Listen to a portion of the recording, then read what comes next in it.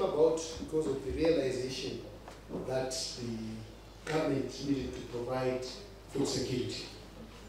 So conservation agriculture has been found to be effective.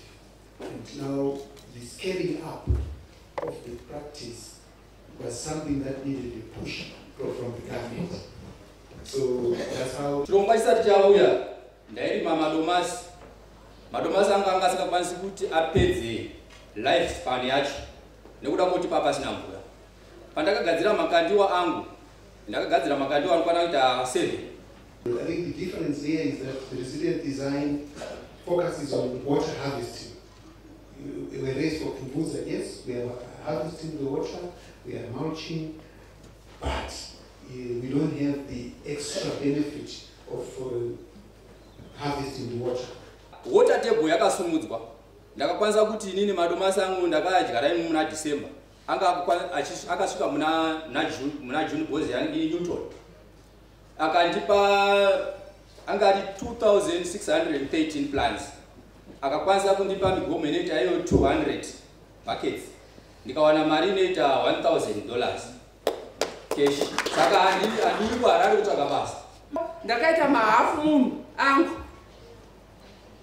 ndokudzvara manhanga pam- pamahafu munhu ipapo. Ndakadzvara mhodzi dzangu ipapo nanaderere nei nei mhodzi dzakawanda ipapo.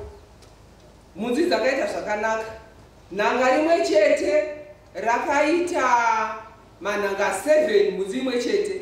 Apa ndakadzvara mhodzi dzakawanda nditi toti 7 ndakadzvara mhodzi 7 pamahafu munhu 2 nhanga rimwe chete ndakarisa paskero rakaita 8 kg chirongwa che- che- cheresilient design chino chakatibatsira kuti tirumuruke. Tisingakwanisi kuendesa vana vedu kuzvikoro asi iye zvinezvi takuendesa vana vedu kuzvikoro nekuda kwekuti takuwana surplus taingomirira ma- madhona kuti madhona achiuya achitipa chikafu asi iye zvinezvi takukwanisa kuti tichirimawo tichitotengesa izvo takurima for business. Chibage chataikohwa namba yacho yachinja. Ndofunga zvimwe zvizhinji tazvinzwa zvichitsanangurwa nevamwe chibage chataikohwa mabhagidi matatu ayaya takukohwa mabhagidi pamwe ma- masaga pamwe 16 chaiwo ekuisa mumba